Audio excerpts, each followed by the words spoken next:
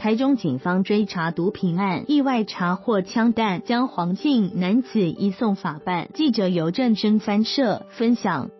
台中警方追查毒品案，逮到毒品通缉犯黄姓男子，要押他到住处搜索时，他主动表明自己没有毒品，只有三支。原警果然在他住处找到三把手枪和三百九十五颗子弹，意外收获。中市警察局第一分局同步扫荡枪械及毒品专案行动，侦查队与冀中派出所共同组成的溯源小组查获重大枪毒案，初起出黄姓男子持改造手枪三支及子弹三百九十五颗，含制式子弹一百颗外，并在一旁的白姓男子身上查获毒咖啡包三包，共计七。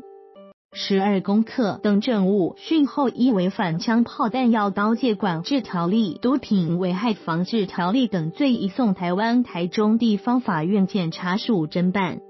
原警前天在中市某大楼电梯内获悉，三十一岁的黄姓男子趁黄贤与白男午睡之际，诱使白男之林姓女友开门，全副武装的优势警力随即一拥而上，顺利将两人查缉到案。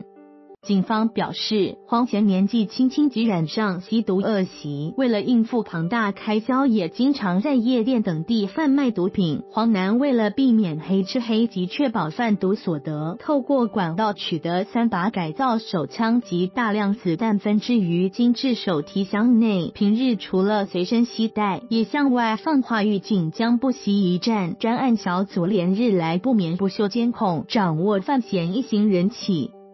需时间才能不被枪弹，即将两人逮捕。